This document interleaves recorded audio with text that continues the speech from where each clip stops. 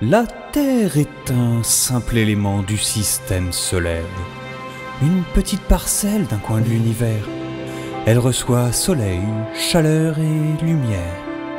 Les hommes qu'elle porte, quant à eux, reçoivent courrier, mail, prospectus, petites annonces, SMS, coups de fil et...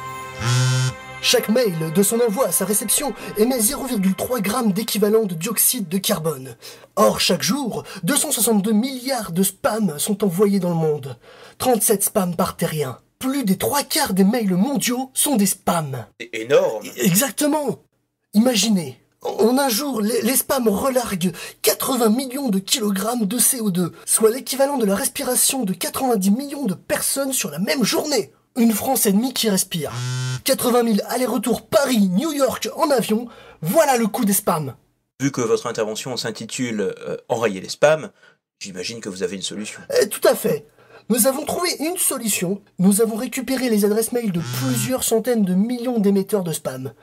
Et à l'heure où je vous parle, des collègues de la brigade anti-spam sont en train d'injecter ces adresses mail aux spammers eux-mêmes.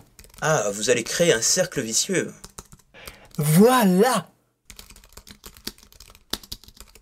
Les spammers vont être occupés à se spammer entre eux jusqu'à saturation rapide de leur boîte mail. Du mail bombing en somme. Exactement Et il n'y aura pas de déni de service sur euh, Gmail ou Outlook par exemple, car les spammers vont s'autoréguler.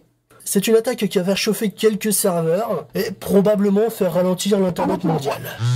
Mais, mais il faut retenir que nous allons tuer des milliers de boîtes mail de spam.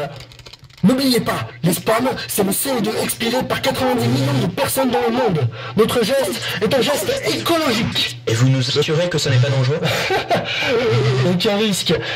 Alors je vous parle, nous sommes déjà aux deux tiers de l'opération et personne n'a rien remarqué. Et la Terre éclata.